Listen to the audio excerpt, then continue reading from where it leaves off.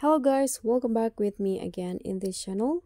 On today's tutorial, I'm going to show you how you can save a sticker to your favorite list in the CapCut mobile.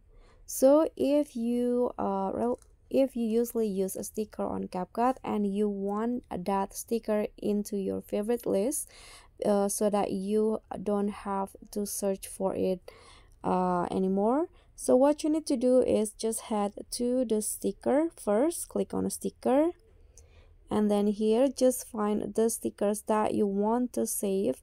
So let's say i'm going to add this pineapple sticker. So just long press on the sticker that you want to save like this. So it will be added to favorites automatically and uh, if you want to uh, later find it again you don't need to search for it.